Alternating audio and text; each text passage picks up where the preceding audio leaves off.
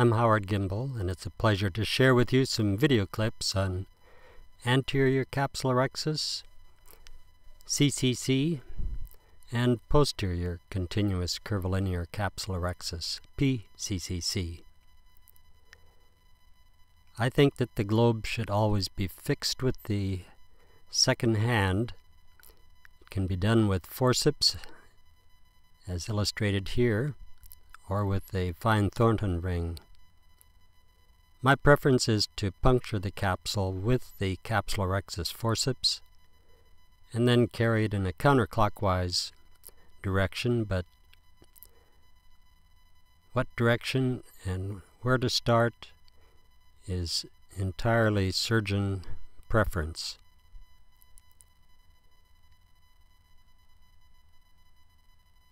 This next clip shows the eye fixed with a fine Thornton ring. You can see the puncture with the capsulorhexis forceps. A little push ahead creates a triangle with the vertical tear in the capsule, it's easily grasped with the capsulorhexis forceps. A radial tear perpendicular to the incision can be hard to grasp the edge of the capsulorhexis.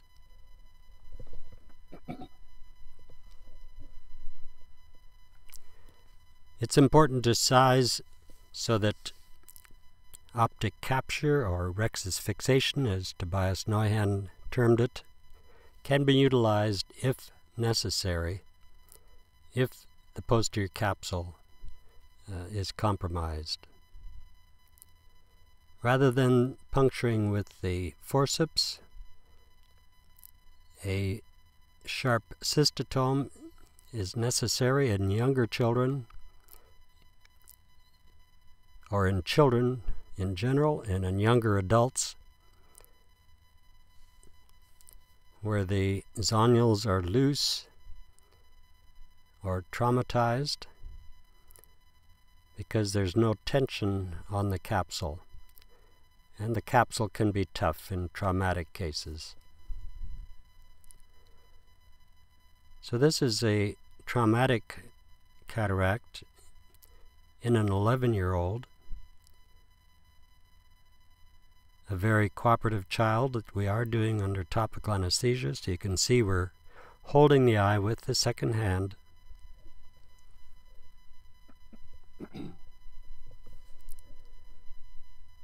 And taking the tear very cautiously.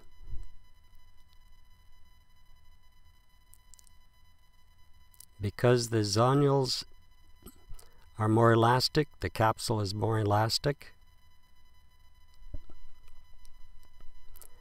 and one has to stop and inspect to see where the tear is progressing, relieving the tension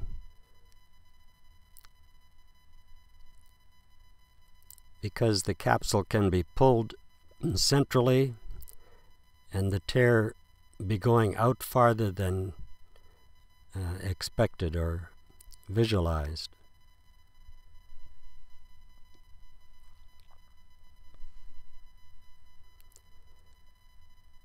So much more deliberate, cautious approach in a child and a young person.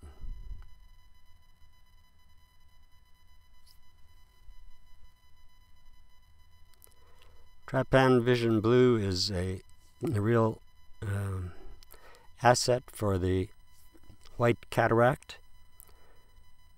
The viscoelastic I prefer in this type of cataract in young people and for me in general is uh, Healon 5 or Healon GV, a very cohesive viscoelastic,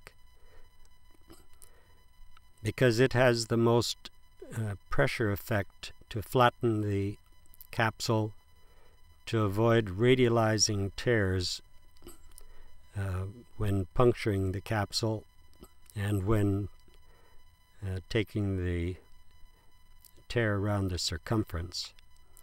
You can see that with that viscoelastic, the trypan blue can be just smeared onto the capsule under the Healon without staining the cornea. And I usually aspirate a little bit, which was edited out here. And then add more viscoelastic before starting the capsulorhexis to make sure that there's good uh, pressure to flatten the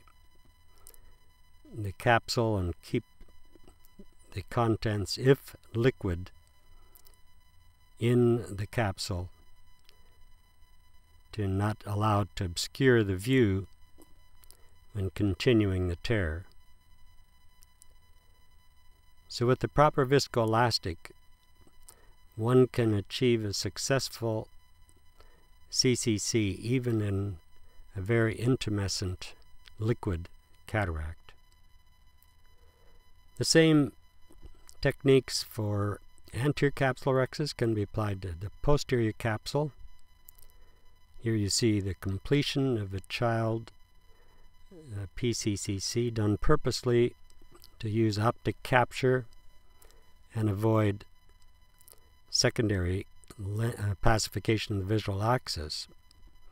But here's a young adult with a posterior capsular fibrotic plaque. This could be left and yagged later, but also it can be removed with PCCC technique. You saw that after the initial puncture, the Healon is put through the small opening to protect the vitreous face, while the PCCC is continued and completed, so the vitreous is undisturbed, whereas a YAG capsulotomy would disturb it.